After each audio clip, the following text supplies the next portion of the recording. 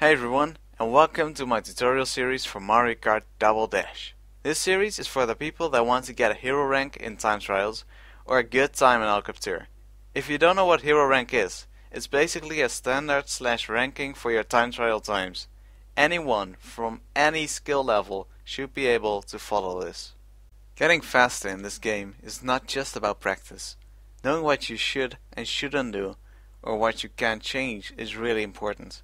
Sure, after watching these videos, it'll take some practice to get it down, but I'm sure you will be able to get a sub 30 in-game time in El Captur after following this series. In this series, I will explain every track, hopefully in detail. I will also go over mushroom spots, but before that, here's some general information that you need to know. I'm telling this now so that I don't have to explain this in every video. Please click the annotations or read the description for timestamps.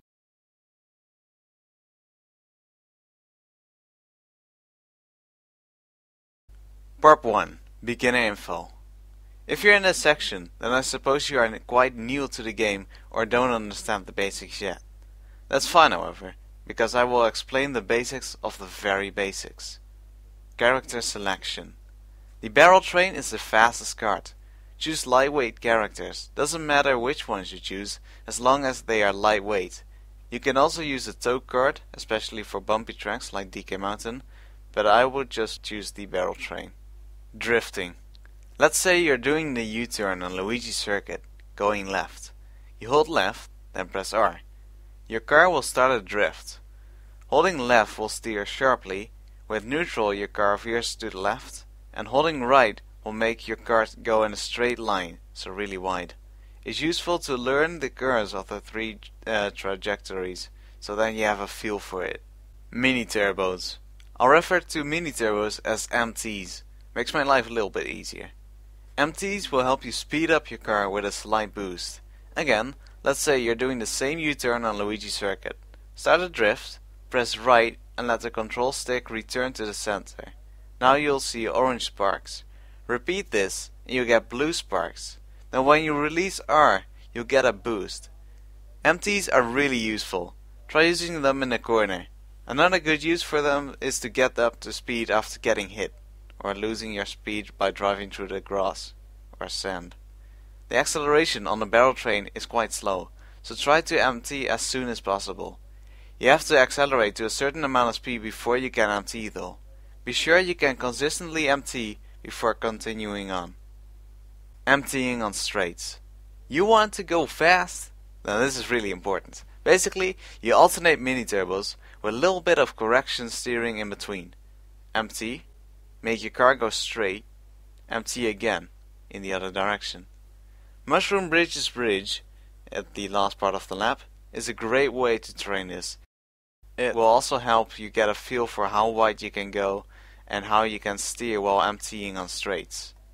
Please master this. Part 2 Important Techniques. These things are really important, so that's why they're getting their own category.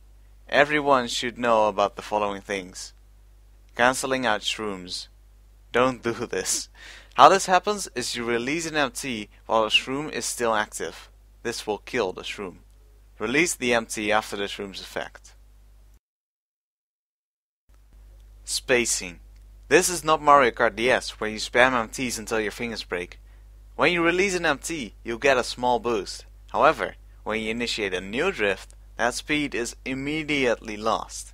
A good time to start a new MT is when your speed starts dropping again, or when the flame on the barrel train starts dying out. Don't focus too much on those visual cues though. It should come natural, so you should be really feeling it. Spacing is really important. Please do not spam mini turbos. If you want some science behind this, I'll link Baseball Kid's spacing video in the description. Sideways boost. You're exiting a corner, but you're a little wide. Then you release your MT and fly out of the corner. What just happened? Well, you might have done an accidental sideways boost. This technique is really useful and will help a lot with getting fast at times and realizing why you flew out of that corner. Normally, when you release an MT, you go in the direction of your car's alignment. However, If you're holding the direction of the corner you're going in, you'll go to the side. Again, let's use the same example of that U-turn in Luigi Circuit. You start a drift, except this time, when releasing the mini turbo, you hold left. You won't go into the descent like you normally would, but instead you go to the side, allowing you to go as close to the sand as possible. A good trick to get sideways boost consistently is to start a drift, press right twice, then left, then releasing R while still holding left. This way you'll get the blue sparks and only have to tap 3 times. In Baby Park, most of the time you will still be holding right when you release your mini turbo, making you go wide. Try releasing the stick before you release R, or holding left. This way you'll go in a straight line. Dropping faster.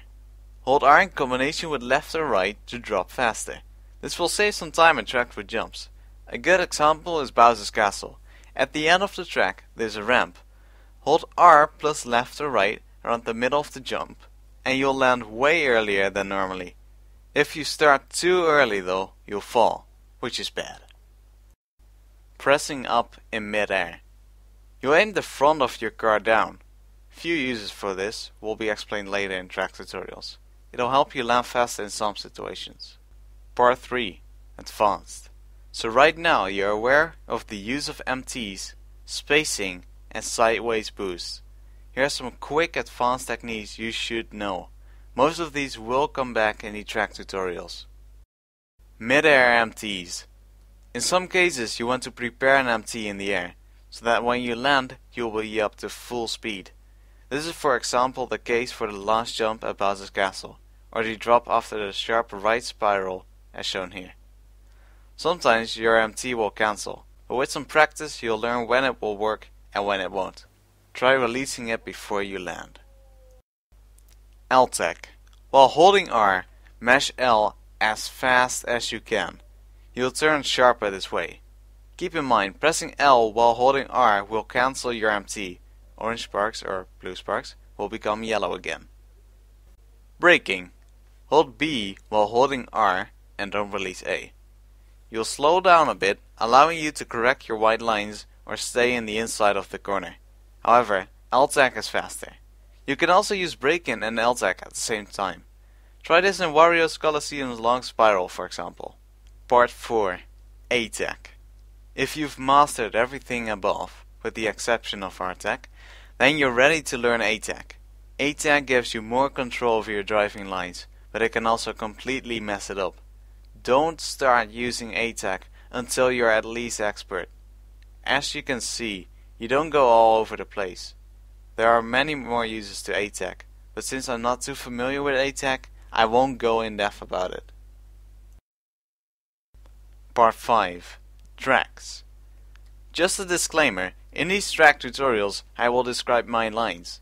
They're not guaranteed to be the best lines you can take, but they work for me and will get you close to hero times.